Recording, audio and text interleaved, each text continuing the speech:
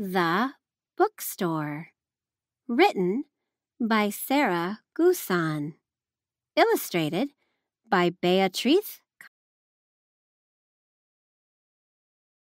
Castro. Focus question. What can you see in a bookstore?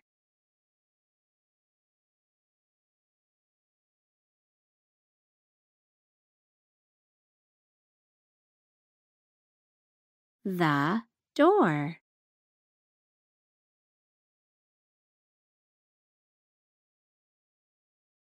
The room. The books. The helpers.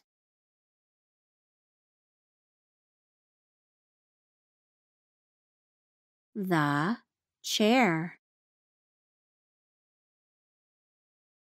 The story.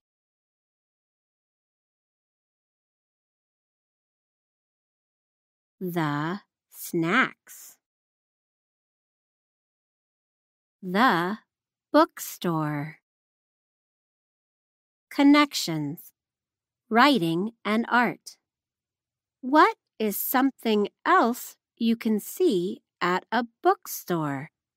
Draw a picture and label it. Social studies. How is a bookstore different from a library? How is it the same? Discuss your ideas with a partner.